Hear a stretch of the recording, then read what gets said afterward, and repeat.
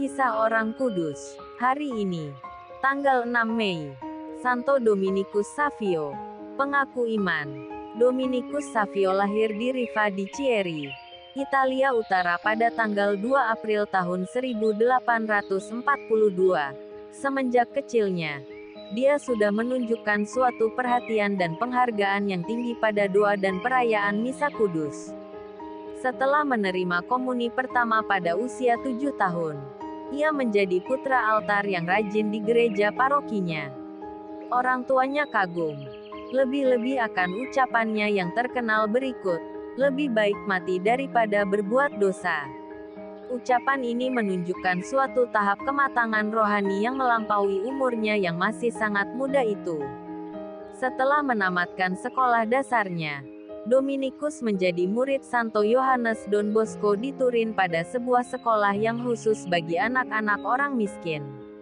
Di mata Don Bosco, Dominikus adalah seorang remaja yang berkepribadian menarik, bahkan seorang anak yang dikaruniai rahmat Allah yang besar. Oleh karena itu, Don Bosco memberi perhatian khusus padanya selama berada di Turin dengan maksud memasukkannya ke pendidikan seminari. Sementara menjalani pendidikan di Turin, tumbuhlah dalam hatinya suatu kepastian bahwa ia akan menemui ajalnya dalam masa mudanya.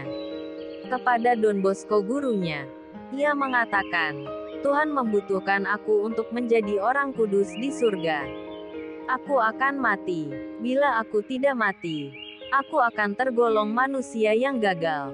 Pada usia 20 tahun, ia mempersembahkan dirinya kepada Bunda Maria dengan suatu janji untuk selalu hidup murni. Kepada Bunda Maria, ia pun meminta agar ia boleh meninggal sebelum melanggar janji itu. Permintaan ini didorong oleh rasa takutnya pada kemungkinan jatuh dalam dosa. Untuk menjaga janji kemurniannya, ia senantiasa berdoa dan memohon pengampunan dosa dari Pastor Don Bosco. Oleh pengaruh kesalehan Don Bosco, Dominikus dengan tekun mengusahakan keberhasilan dalam usaha belajarnya. Di antara kawan-kawannya, ia menjadi seorang rasul yang aktif. Ia membantu memberi pelajaran agama dan mata pelajaran lainnya serta merawat orang-orang sakit.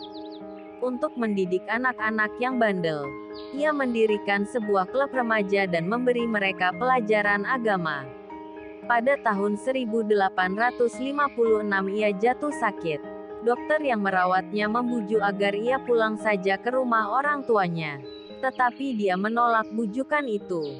Pada tanggal 9 Mei tahun 1857, ia menerima sakramen pengurapan orang sakit. Lalu pada pukul 9 malam itu, ia menghembuskan nafasnya yang terakhir. Pada tahun 1950,